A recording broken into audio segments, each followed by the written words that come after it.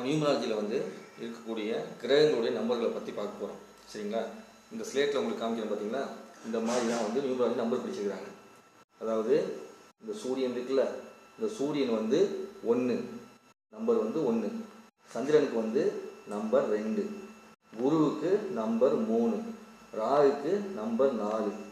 புதனுக்கு நம்பர் அஞ்சு. சுக்கிரனுக்கு நம்பர் ஆறு. கேதுக்கு நம்பர் ஏழு. சனி பகவானுக்கு நம்பர் எட்டு.